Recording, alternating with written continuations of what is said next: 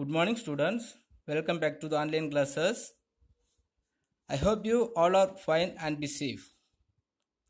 Okay, this year our school management decided to taking the online classes from yesterday onwards. So today we have economics subject as per your timetable. This year also I only will taking the economic subject for you. This year you have no need to taking the more effort to study the economics because already we have studied the more portion in our previous year itself. So the remaining portions, the remaining important portions only we have need to study on this year. Today we will study the one of the first chapter in economics. So first chapter in economics in this year is Introduction to Macroeconomics. Before going to study the introduction of macroeconomics, we must remain remain the microeconomics. So we have studied in this last year, you know. So we have to remain the microeconomics. Have you all remained the microeconomics? The meaning of microeconomics? Anybody? Microeconomics is the study of economic action of individual units. So the individual units mean what? Says household sectors, firms and industries. Okay. So not only that, so it studies how business firms operates under output of market. Okay, or the determinant of market. Okay, how business firms operating under the determinant of market or the different type of the market. Moreover, the microeconomics is deal with how the combined action of buyers and sellers determining market prices. Okay. So if you are considering the market prices, so the two factor must be needed to determining. Okay. So the determining of the price of the market is considered by the two factors, the buyers and sellers buyers and sellers means on the side of on the production side so we can consider the consumption and productions. Okay? So consumption of the product consumption and productions mean so how consumption will be determined and how production will be determined. So the production and the consumption are the buying and the selling also will be determined by the market conditions or the demand and supply. When we are studying the micro and the macroeconomics, so in the name itself we can understand about the micro or the macro, the meaning of micro and the macro. Okay, so the meaning of micro is small. So the micro means small. So the macro means large. Okay, so microeconomics is the study of determined or uh, microeconomics is the study of economic action of individual units.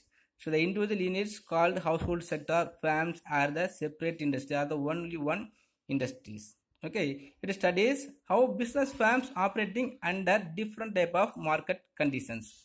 Different type of market conditions mean on the basis of time. Simply, if you want to understand about the microeconomics, microeconomics is the study of study of single unit of economics and activities, economic activities. Okay, next come to the macroeconomics. Okay, so the opposite of the microeconomics may be called as macroeconomics. Opposite word mean micro mean small, so the macro mean large.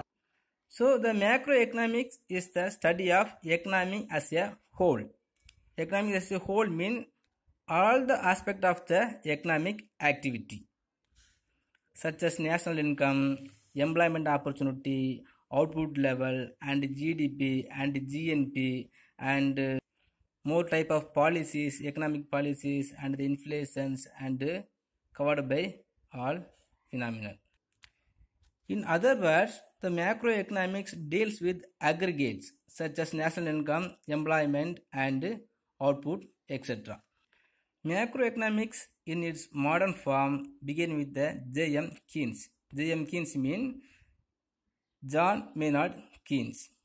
Okay. He wrote one of the book. The book name is The General Theory of Employment, Interest and Money. It was published in 1936.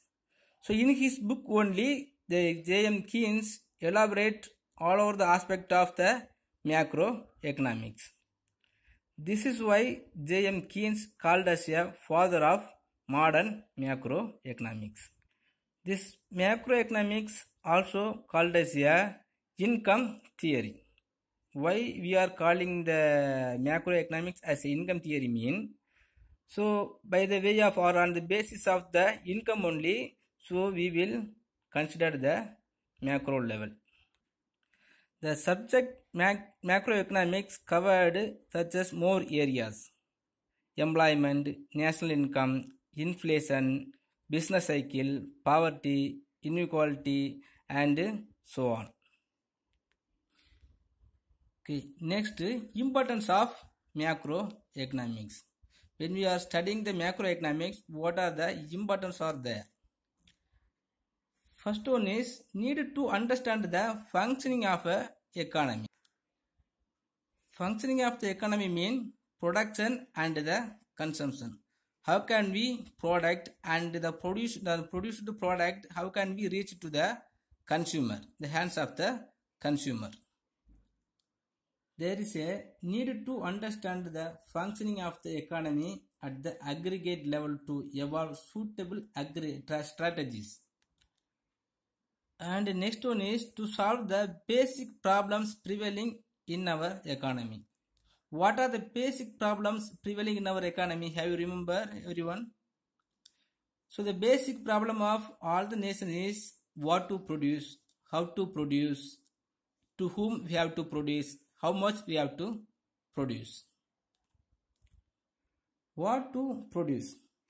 Every society must decide on what goods it will be produced and how much of this it will be produced what kind of the product the nations have to produce? Is the agricultural product or the industrial product. Okay. So if the nations have more need of the industrial goods so the government must be allot the industrial sector more industrial sector. Otherwise it will be establish more agricultural sector or agro based sector and how to produce. Next problem is how to produce. Every society has to decide whether it will be use labor intensive technology or capital intensive technology. Okay. Because if you are adopt the more capital intensive technology so there will not be employment opportunities for all the workers. Okay. So many of the peoples will be in unemployment problem so before we decided to adopt the technology method so we must decide what method we have to produce the product. Next another one of the problem is for whom we have to produce? For whom we have to produce? Every society consists of two base of or two types of the peoples. High income peoples or the low income peoples. Are the rich or the poor okay. So rich people always want to consume the luxury goods or comfortable goods. But the poor people only wants to their basic economic necessities.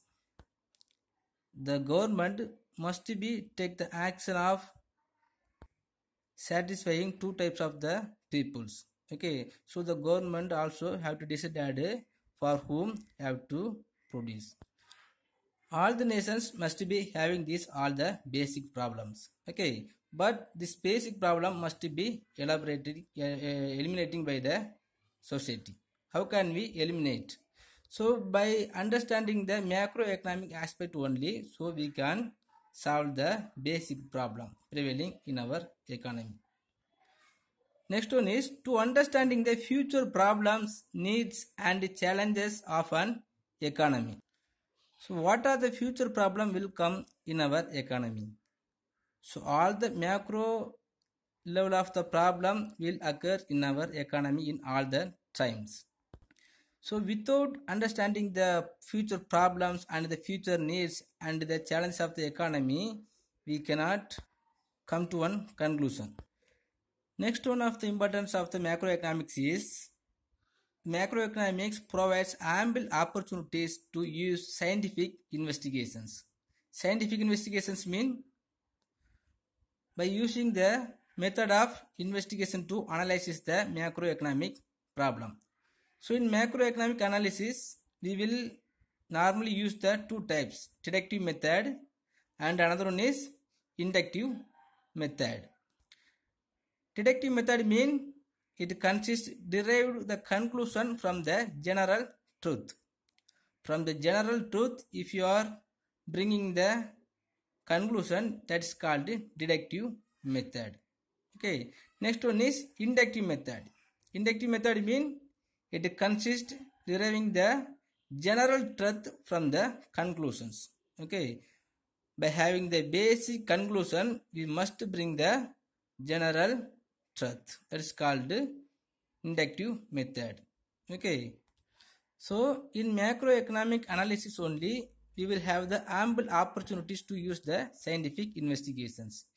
If you are considering the microeconomics also, we will use the scientific investigations, but the more opportunity only we will get when we are studying the macroeconomic analysis.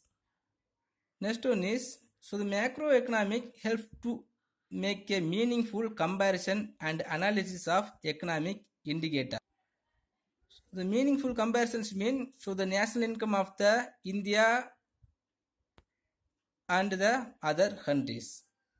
The economic activity of India with the other countries. Okay, when we are studying the macroeconomic analysis only, we will get the chance to comparing the national income of our countries and another countries. Not only the national income, so the economic activities of our our nations and the another nations. And analysis of economic indicators. Economic indicators mean have you remember what are the indicators are available in our economics? So many indicators are available in this macroeconomic analysis. So the wholesale price index and the consumer price index and the retail price index and the cost of living price index and the working class of the price index. So like that more indicators are available. So the more indicators also will be analysis in this macroeconomic only. Next the macroeconomics help to better prediction about future. What are the problems will be arised in future and how it will be affected the economic activities. So everything will be understood understand by studying the macroeconomic analysis only. Next so the macroeconomics also helpful to formulate the suitable policies to avoid the economic crisis. Okay suitable policies mean so we have studied in this last year itself you know. So the monetary policy fiscal policy financial policies and the tax policies okay so if you are considering all the economic system so the, all the nations also will be affected any one of the economic crisis or different type of the economic crisis. Okay so when we are studying the macroeconomic analysis so we can easily formulate the suitable policies such as the monetary policies fiscal policies and the tax policies. Okay so when we are formulating this type of the policies we can easily avoid the economic crisis. Okay next scope of macroeconomics. Scope of macroeconomics. The study of macroeconomics has wide scope and it covers the major area. Okay so what are the major areas of macroeconomics is first one is national income. So the measurement of national income and its composition by sectors are the basic aspects of the macroeconomic analysis. Okay. So the composition of the national income in that also we have studied in this last year itself. So the GDP, GNP, NNP, NNP at factor, disposable income, and what and the personal income and the per capita income so everything's also called as a components of the national income. By having these components of the national income only so we can bring in the clear calculation of the national income. The trends in national income and its composition provides a long-term understanding to the growth process of an economy. Here we must understand one thing that is the trends of national income. Okay so what is the meaning of trends of national income? So the trends of national income will be related to the standard of living people. Okay. So when the national income is increased so it must lead to increasing in the living standard of the people. Okay. So without increasing the standard of the living living standard of the peoples we can't say the nations has increased in their income. Okay. So the national income must be consist the increased standard living of the people. Another one of the major area of the macroeconomics is inflation. We have studied very well in last year itself.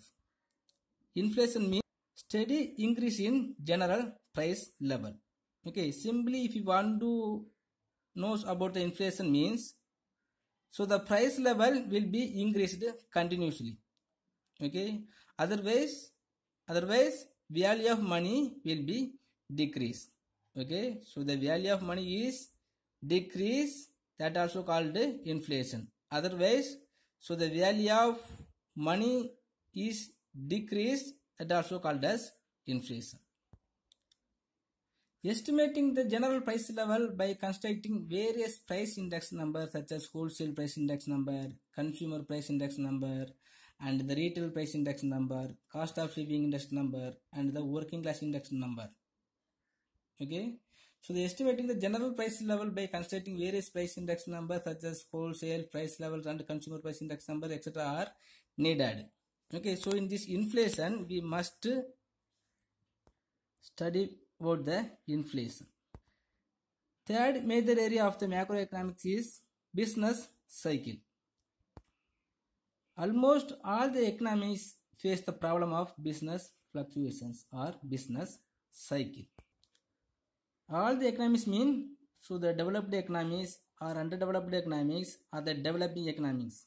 Otherwise so the mixed economy or the capitalist economy or the globalist economy. So the, all the economies must be face the problem of business cycle. In this business cycle five bases are there. The name is depression recovery prosperity boom and recession. In this business cycle the first step is boom or prosperity level. Boom or prosperity level. The full employment and the movement of the economy beyond the full employment is characterized as a boom period. Okay? So normally the boom period always will be occurs after the growth level or the recovery base so during the boom level so the money wages also will be increased the profits increase and interest rates also will be increased. So the government also will no need of taking the more effort to increasing the economic development. Because of taking all the suitable policies only so the economic will be get this achievement. The next base of business cycle is recession. So in this basis the turning point from boom condition is called recession. So in this base so the, all the investors entrepreneurs banking sector and the government must be taking the more effort to keeping the growth of economic. Because in this base only so the investment are drastically reduced the production also will be reduced the income and the profit also will be reduced or decline. So there is a panic in the stock market and business activities. So signs of dullness.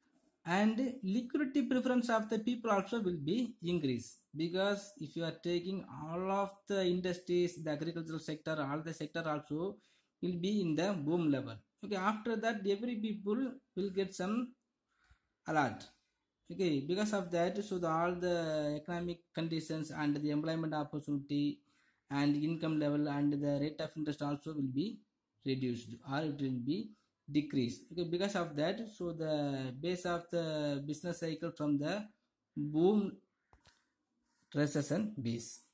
Next base of the business cycle is depression. This base only will the critical base of the business cycle during the depression time, the level of economic activity becomes extremely low or sometimes it will become attached attain the zero. The interest rate imposed by the bank and the agricultural and the wages also will be decreased and it will be attained very low. So in this base cycle only the agricultural class and the wage earners would be worst hit and banking institutions will be reluctant to advance loans to businessmen. Depression is the worst base of the business cycle. Even though Keynes advocated that autonomous investment of the government alone can help the economy to come out the depression field, come out from the depression field.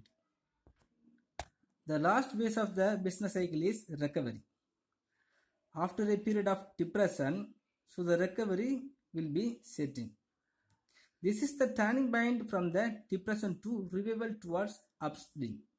Okay, it begins with the revival of the demand for capital goods because autonomous investment boost the activity. Autonomous investment mean okay that autonomous investment now no need, so we will tell later in this base only the demand will be increased step by step. Okay as per the increase the demand of the commodities so the production also will be increased. So the entrepreneurs automatically will be started in any of the new industries. The bank also will be reduced the rate of interest. So when the bank reduces the rate of interest all of the entrepreneurs can have the more loan facilities from the bank. Okay because of this way so all the entrepreneurs will have the chance to starting in one of the new industries. Okay from this way so the the base of the business cycle will be increased from the depression to recovery. Next another major area of the macroeconomics. So another one of the major area of the macroeconomics is poverty and unemployment okay. The major problems of all the nations or most resource rich nations or the poor nations have the poverty and unemployment. Okay. Even though if in all the nations are taking more effort to increase their economic development without the employment opportunity it will not be attained the full economic level. Okay. So so the poverty and unemployment only will called as a economic paradox. Economic paradox mean all the nations must be meet these situations, poverty and unemployment. Okay, even the some of the developed nations also will be face the unemployment problem. A clear understanding about the magnitude of poverty and unemployment facilitates allocation of resources and initiating corrective measures. Okay, so this corrective measures also will be taken by the macroeconomic analysis. Another one of the area of the macroeconomics is economic growth. Economic growth. The growth and development of an economy and the factors determining them could be understood only through the macroeconomics analysis. Okay, because if you want to produce any of the commodity, we know so without the factor of production, no commodity will be produced. Okay. So the allocation of the factor of productions will be implemented or it will be corrected by the macroeconomic analysis only. And last another one of the major area of the macroeconomics is economic policies. macroeconomics is the significant for evolving suitable economic policies okay so the macroeconomics only having the suitable economic policies for solving all the economic crises economic policies are necessary to solve the basic problems to overcome the obstacles and the achieve growth. What are the ob- obstacles will be arises in our economic? So already we studied you know so the poverty and unemployment problem and the more phases of the business cycle and how to eradicate the poverty and uh, bringing the more suitable policies everything's also called as a economic obstacles. Okay this all the obstacles will be eradicated by the macroeconomic analysis. Okay next limitations of the macroeconomics. Even though if you have more benefit of the macroeconomics. This macroeconomics also will have some of the limitations. What are the limitations? One of the first one of the limitation is there is a danger of excessive generalization of the economy. There is a danger of excessive generalization of the economy. What's the meaning of excessive generalization? We are studying some of the assumption you know. So before studying any one of the law we must consider some of the assumption. Okay? According to the assumption only that type of some of the law will be operate. But in this macroeconomics some of the law of the macroeconomics will have the same assumption for more laws. The same assumptions only will have for more laws and theories. Okay? So this same assumption will not be suitable to formulate all the laws or theories under some circumstances. Another one of the limitation is so the macroeconomic assumes homogeneity among individual units. That means so the every separate individual units also will having the different type of the features okay? But the macroeconomic analysis assumes so the, all the individual units also will having the same features. Okay this is also one of the limitations but actually it will not be like that. Next one is there is a fallacy of composition. Fallacy of composition mean some of the mistakes in composition of the or composition of the economic analysis. For example some of the good will be more good for the individual peoples but the same goods not be suitable to the improvement of or development of the economic of one nations.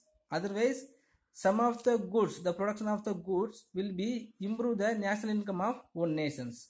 But the same good the production of the goods will not be improve the economic development of another one of the nations. For example in any one of the nations will encouraging the production of the alcohol or the liquor. Okay? But our nations not like that okay so that meaning is called as a fallacy of compositions. Okay so the, all the nations all the peoples and the, all the time will not be same to improve the economic development. And another one of the limitation is so the non-economic factors so the affecting of the non-economic factors.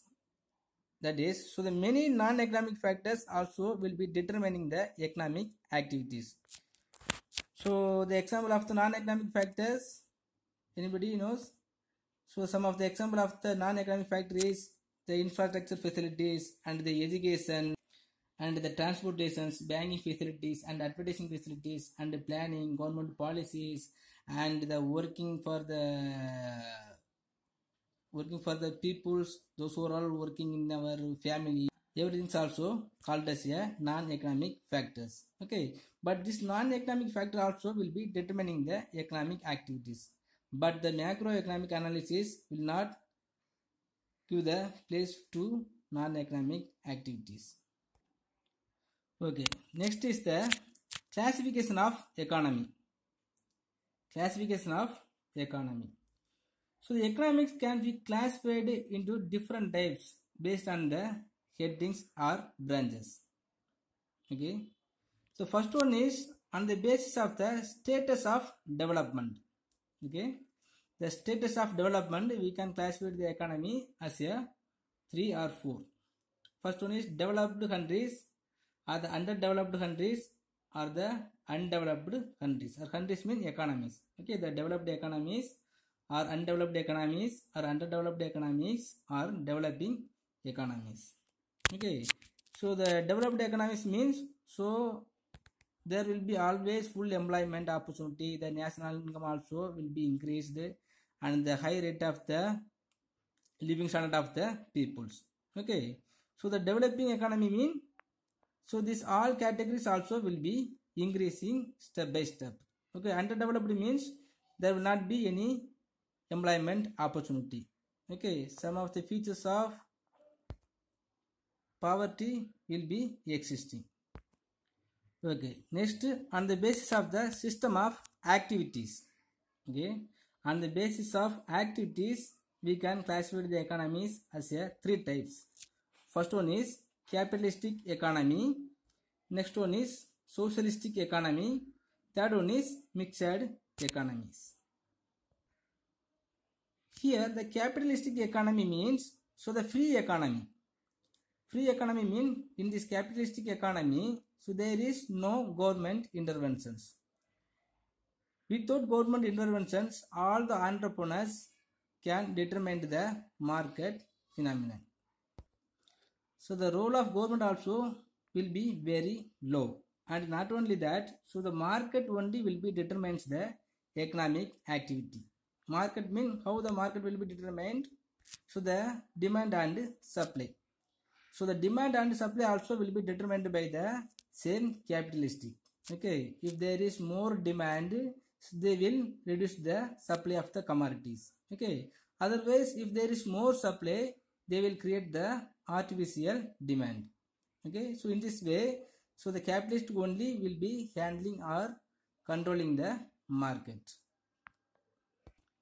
And not only that the means of production of the capitalistic economy also privately owned. Privately owned mean so the basic problems also will be handled by the capitalistic. So what product we have to produce the for whom we have to produce how can we produce everything also will be determined by the capitalistic itself. Okay?